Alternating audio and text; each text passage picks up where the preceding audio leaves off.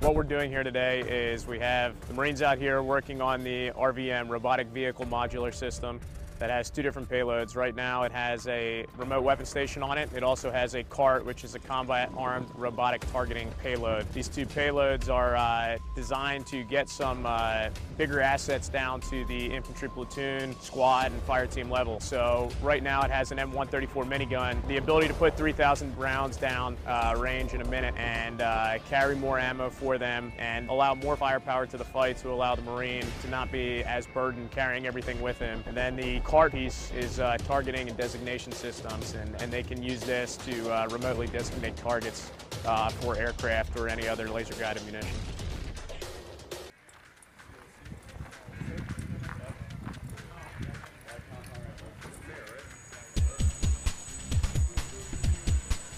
Today, what we're doing is a final exercise. For the past six weeks, these Marines of Kilo 35 and MCWL have trained to the technologies that we're integrating.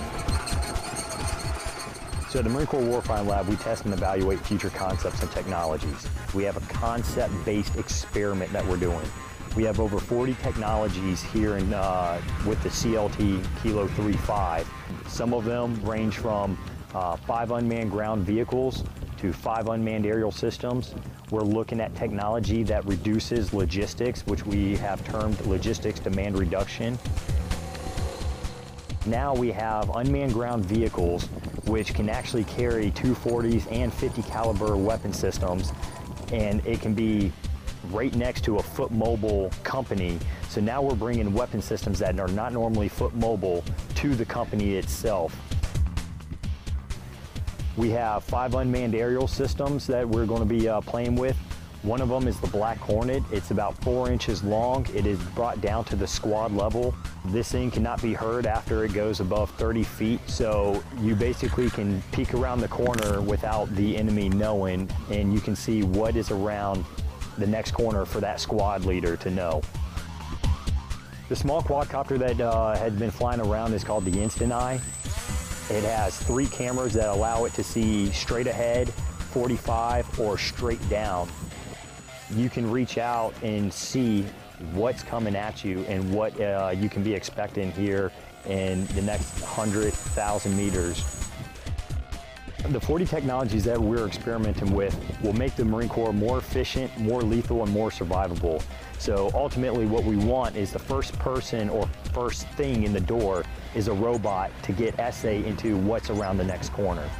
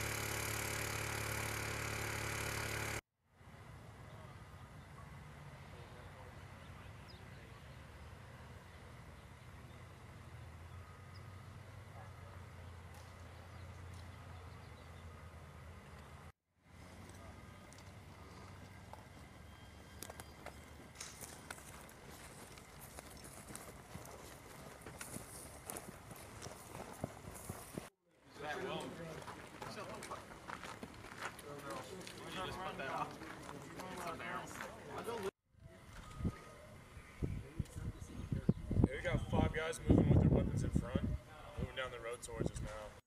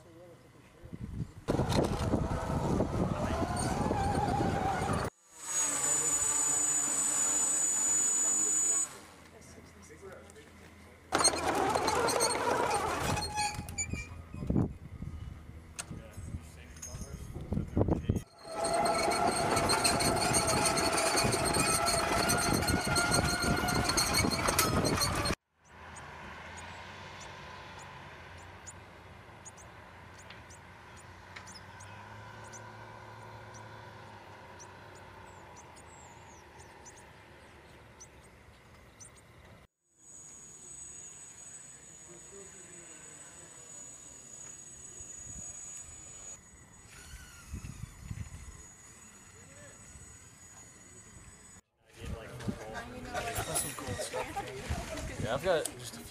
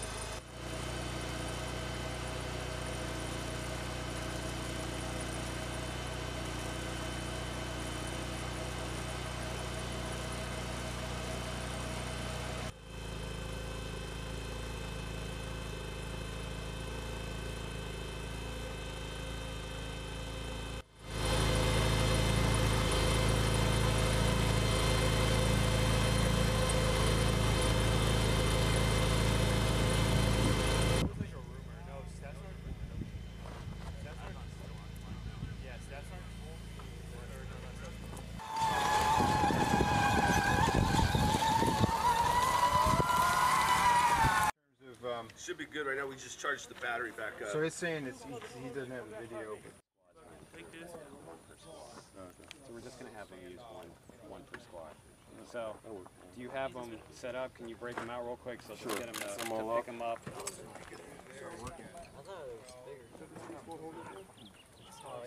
You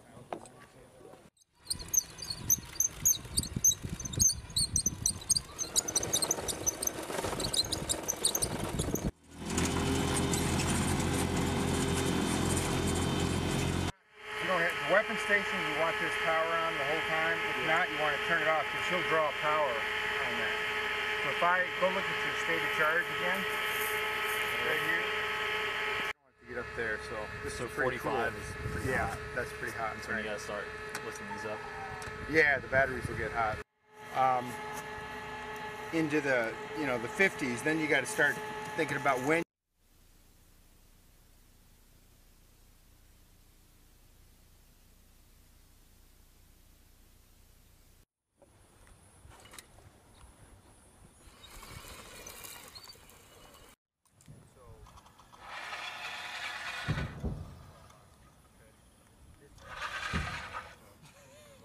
This is an enabler. It's a force multiplier, and it'll preserve uh, and and combat power, you know, from from a safety standpoint. But it'll also uh, allow them to cover more area, larger area of influence. Uh, it'll let the the current force do more, cover more area. Lightening the load, you know, they can offload it on here. They can get the objective. They're not tired. They could have more ammo. They can um, fight for 72 hours with this. They could load this up and then fight for 72 hours without resupply. So it allows, I think it's going to enable them to complete their mission that they're going to be given for this expeditionary, the, like the, the company landing teams.